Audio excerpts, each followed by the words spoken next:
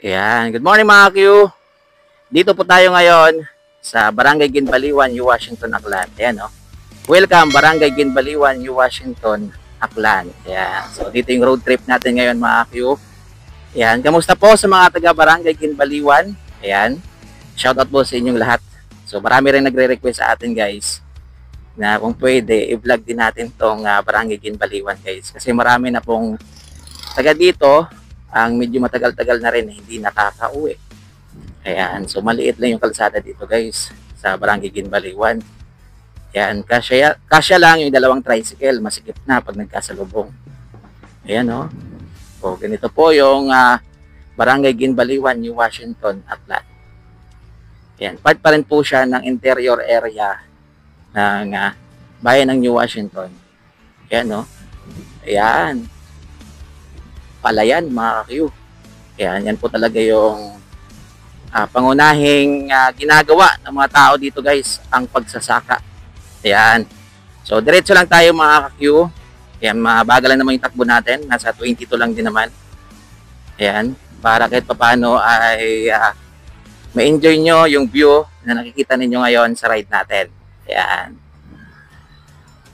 Hindi naman kasi tayo pwede mapatakbo ng mabilis guys. Kasi shaky na po yung video natin. Yan, hindi naman kasi tayo naka-GoPro. Ayan, no? Grabe talaga, guys. Napakalawak po talaga ng palayan dito. So, walang problema talaga sila pagdating dun sa bigas. Ayan. Number one, nahanap buhay ng mga tao dito, guys. Sa interior area ay ang pagsasaka. Yan, pagtatanim ng palay, number one talaga yan. Doon naman sa coastal area ay pangingisda. Ayan, no? shout out po sa mga may-ari ng bahay na to guys na nahagip ng kamera natin. Grabe guys, no? Ang dami na rin paling magagandang bahay dito. Ayan, nagpipilipit na naman yung dila ko guys.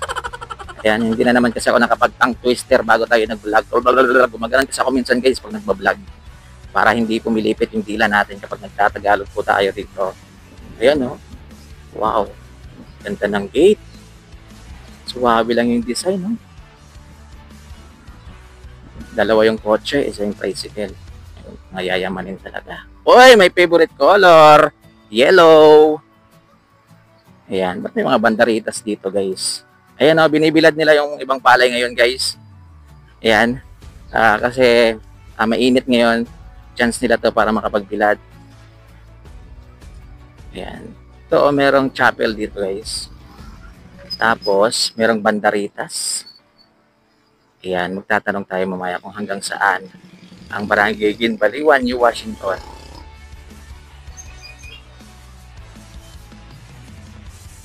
Ayan, ito yung kanilang basketball pavement. Ayan. Yun o. Oh. Ayan. Ma'am, magtatanong lang po sana, ma'am. Good morning po. Hanggang saan po yung Ginbaliwan dito, ma'am, papunta? Kung dito ka pupunta? Tinampaan na yan, ginbaliwan pa rin po yan. Oo. Yan. Pero babalik eh dito. Kasi dito na doon, no? Sa kapila, no? Oo, oh, dito na yan. Ah, oo. Sige, sige ma'am. Oo. Thank you, mama. Yan. Ito po yung basketball pavement ninyo. Yung ano ho? Ano po ito, ma'am? Barangay Hall ng Ginbaliwan. Ayan. Di ba yung ano dito, ma'am, yung kapitan si Ma'am Leia? Oo. Ah, shoutout po kay Ma'am Leia. Yan. Ito pala yung barangay hall nila, guys. Oh, ganda, oh. Akala ko basketball court. Ah, doon to sa kabila. Ah, okay, ma'am. Yan. Sige, ma'am. Thank you, ma'am, ha. Yan. Tuloy lang muna ako doon sa ano, tinampahan. Yan, guys, oh. Lawak ng palayan dito. Yan. Kakatapos lang ng piyesta dito, ma'am, no? Oh, maulan kasi noon eh, nung piyesta. Oh, malakas yung ulan kaya hindi ako nakapunta dito, guys. Pasensya na kay Ma'am Leia. Yan, di pa naman yun ang anak ni Ma'am Leia. Yun, naimbita tayo ni Ma'am Leia, hindi tayo nakapunta yan. Shout out na lang po kay Ma'am Leia. Ayan, ayan oh, may truck kasing dadaan guys. Wait lang. Wait lang bro ha. Yan, pick up yan ng basura guys. Ayan oh. Yan.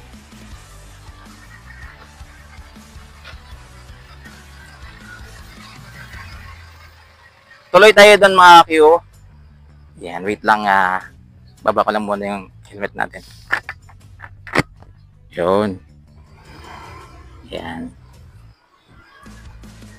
Yan. Oras na ng ah, bilad ng palay. Tama po ba? Ano ba yung bilad sa Tagalog? Parang ganyan, no? Yan. Para at least ah, matuyo. Then, maano na nila, magawang bigas, papagaling. Ayan. Ayan o, lawak talaga dito. Hindi pa inaani dito guys, oh. Ayan. Pero ano na rin po siya, naninilaw-nilaw na rin. Ayan. Golden na rin yung mga palay dito. Ayan. Mababa lang siya mga Q. Ayan. Depende rin kasi yan sa lahi ng binhi na ginagamit nila guys. Meron namang mga palay na mataas talaga. Ayan. Meron naman na mababa lang. Katulad nyo na mababa lang.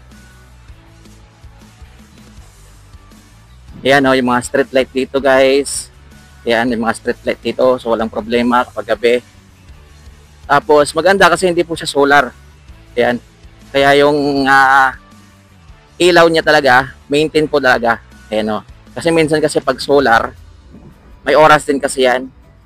Ayan, minsan 5 hours lang, minsan 8 hours lang, ano na, madilim na po siya. Ayan o. Ayan.